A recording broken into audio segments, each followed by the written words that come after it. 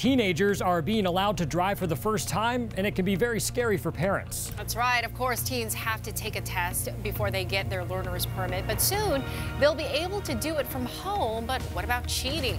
Team 12's William Pitts is verifying if cheating is possible with the new policy. Remember going down to the DMV to take your driver's permit test when you were 15? Well, now the MVD says we're going to put that all online. Does that make you feel safer? And is there any way to cheat the test? It's the first step to freedom, the written driving test. Score 80% and you're halfway to a license.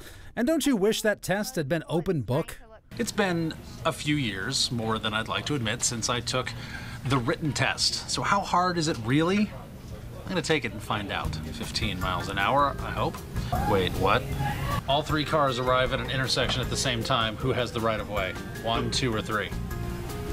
Three. School bus with flashing lights is stopped on a divided highway. Who must stop? Okay, moment of truth. Check my answers. Five, six, six, seven. Oh, okay. I failed.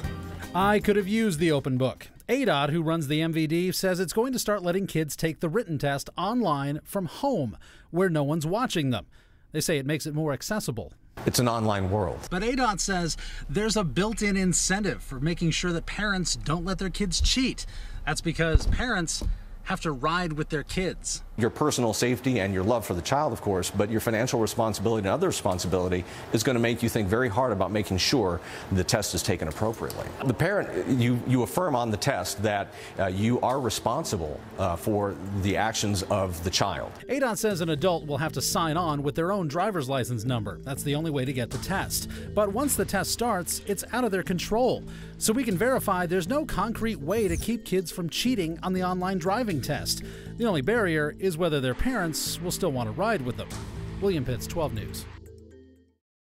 And we can also verify that you need to study William Pitts. I was going to say he shouldn't be driving. No, right? Take his license away.